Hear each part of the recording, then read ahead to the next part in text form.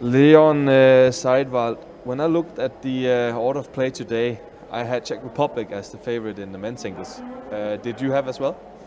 Um, not really, because I honestly like the role as an underdog. I've shown multiple times before that when I'm playing against higher ranked players, uh, I can most of the time play my, to my full potential. So I was really confident that I have a good chance to winning as well. And it looked like actually you had also good movements on court. Of course, it's also uh, one of the very few matches you have played this year. It's actually the worst first win for you in 12 months. Um, I know that you know. Um, but, but Leon, if we look at the game plan today, what was the game plan and what, what, what did you do to execute it?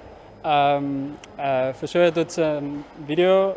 Um, I watched some videos uh, of him, and he is a really strong guy. So uh, I try to make him move and twist a lot, so then he's not so comfortable in this area. So then I'm getting chances to attack, and this is what I tried. And I tried to be very aggressive at the net because this is a very fast hall with fast shuttles.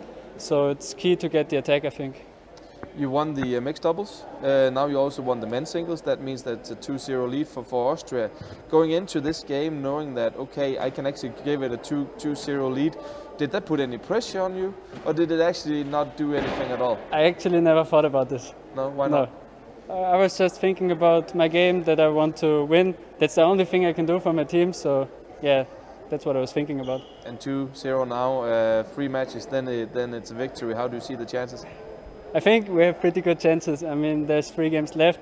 We just need to take one. So yeah, for sure we have good chances. Thank you. Thank you.